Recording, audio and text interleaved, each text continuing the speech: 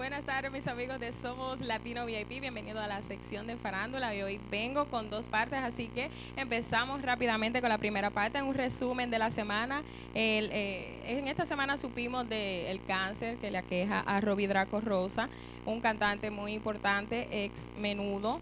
Eh, para la época de Menudo era el que se encargaba de hacer las versiones de los éxitos de Menudo, de menudo en portugués. También es eh, parte del éxito de Ricky Martin ya que él ha escrito, ha producido y ha arreglado la mayoría de los éxitos en voz de Ricky Martin y también él ha tenido su propio éxito. Recordemos a los que viven en Puerto Rico, hace como dos años aproximado un especial del Banco Popular de Navidad donde él participó con Rubén Blade y también con Juan Luis Guerra y él. Eh, eh, un especial navideño con tres figuras importantes, así que esperamos eh, la recuperación del cáncer que le aqueja a Robbie Draco Rosa. Seguimos.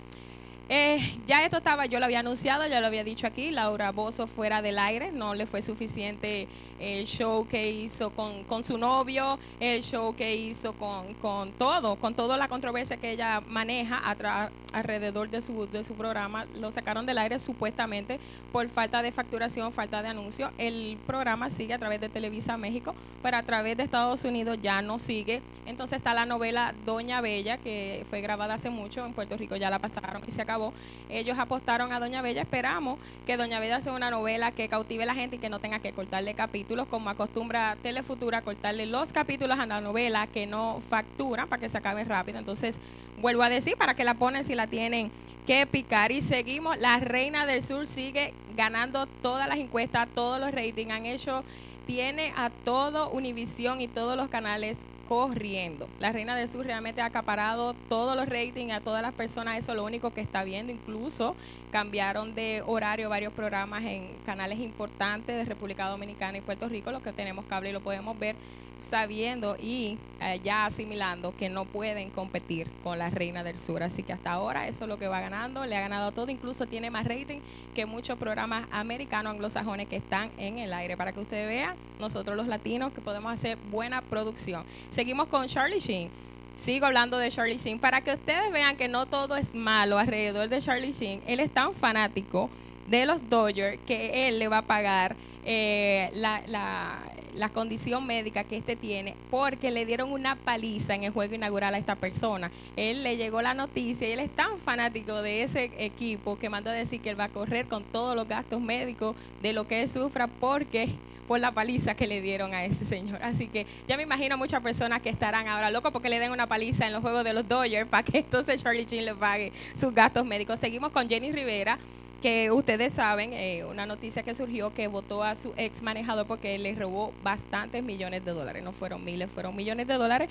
Y a preguntas de por qué ella no lo denunció, ella dice que prefiere dejar las cosas así, que ella está bien económicamente y que no lo quiere denunciar. Pero la realidad es la siguiente, se rumora y se dice que ella no quiere denunciarlo porque él la amenazó diciéndole que si él lo denunciaba, él iba a hablar de todo lo que sabe de ella y de su familia, de muchos secretos familiares que ella no quiere que salgan a la luz. Esa es la supuesta realidad de por qué Jenny Rivera no ha querido denunciar a su ex manejador. Para que ustedes vean, te roban y te tienes que quedar callado para que no digan tus problemas personales. Increíble. Y también se dice rumores de que Giselle Blonde se hizo el trasero, las pompas, como usted le quiera llamar, porque le han tirado fotos últimamente y, y que ha salido dos protuberancias que antes no habían. Y ese es el rumor que se está corriendo a través del internet que hace operó la pompa para hacer la nueva versión de nuestra belleza latina este año. Pero pues usted tiene el dinero, olvídese, hágalo. Y para culminar esta parte de mi sección, yo fui al cumpleaños de Alex Sensation que se hizo en Tropicana en el Bronx el sábado pasado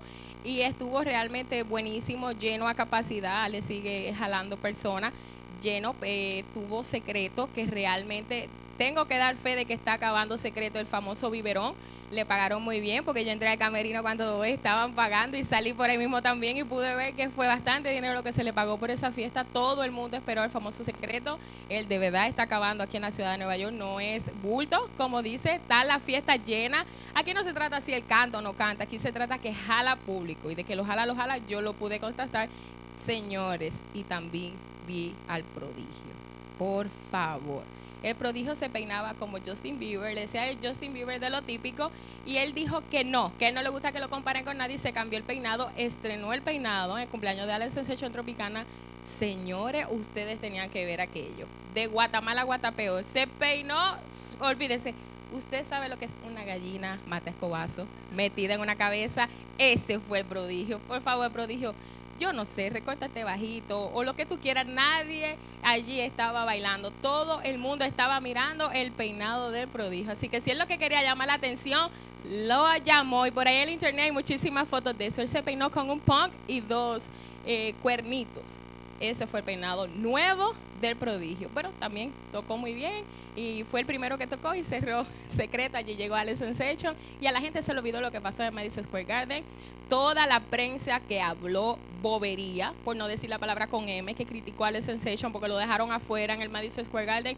Tengo que decirle porque lo vi, estaban allí de lambones de Alex Sensation. Lo dije yo responsablemente.